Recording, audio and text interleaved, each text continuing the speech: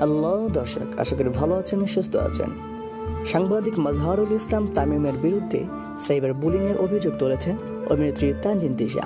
গতকাল সোমবার এই অভিযোগ নিয়ে ডিবি কার্যালয়ে গিয়েছেন এই আলোচিত এই অভিনেত্রী। এছাড়া তামিমের সঙ্গে ফোন আলাপে সাংবাদিকদের উড়িয়ে দিতে চাইলেও পরে ফেসবুকে ক্ষমা চেয়েছেন, কিন্তু সেই পোস্ট মুছে দিয়ে ডিবি অফিসের পথে হাত নেন তামিম আসলে কি বলেছিলেন তিশাকে এ বিষয়ে দেশ রূপান্তরের হাতে তিশার সঙ্গে তামিমের কথোপকথনের একটি স্ক্রিপ্ট কিংবা স্ক্রিনশট এসেছে, যেখানে তামিম তার পরিচয় ও পদবি দিয়ে হোয়াটসঅ্যাপে টেক্সট করেন তিশাকে। এরপরে জানতে চান, তিশা অ্যাবর্শন করেছেন, বিষয়টি মিডিয়ায় আলোচনা চলছে, তিশা স্পষ্ট শুনে অবাক হন। এরপর তামিম বলেন হ্যাঁ এমনটাই ছড়াচ্ছে। হ্যাঁ দর্শক এরপর তামিম বলেন হ্যাঁ এমনটাই ছড়াচ্ছে। আপনি এটা ছড়ানোর আগে একটা স্টেটমেন্ট দেন প্লিজ ক্ষমা চেয়ে করা পোস্টটি মুছে ফেলার বিষয়ে এই অভিনেত্রী বলেন, আমি পোস্ট করার পর দেখি সেটা নিয়ে অনেক কথা হচ্ছে।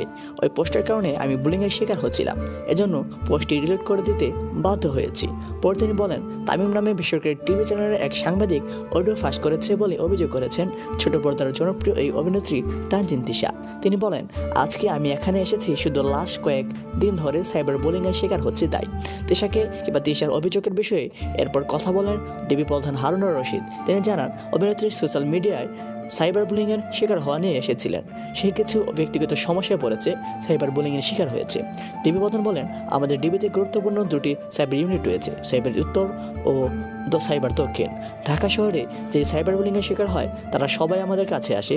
আমাদের সাইবার আমাদের সাইবারের গুরুত্বপূর্ণ অনেক স্মার্ট অফিসার রয়েছে, যারা তাৎক্ষণিকভাবে ওই সমস্যাগুলোর সমাধান করে থাকে। তেমনি অন্য সবার মতো অভিনেত্রী তিশা আমাদের কাছে এসেছিলেন। ডিবি প্রধান বলেন, তিশা আমাদের কাছে লিখিত অভিযোগ জানিয়েছেন, আমরা সেটা নিয়েছি। তাকে অনেক অনেক ধরনের বক্তব্য করছেন, কিংবা তাকে অনেক অনেক ধরনের মন্তব্য করছেন। সেসব আমরা শুনেছি, সাইবার নর্থকে আমরা দিয়েছি, তারা তদন্ত করে আমাদের জানাবে। সো আপনার কাছে বিষয়টি কেমন লেগেছে জানাতে পারেন কমেন্ট সেকশনে ভালো থাকবেন, সুস্থ থাকবেন বাই বাই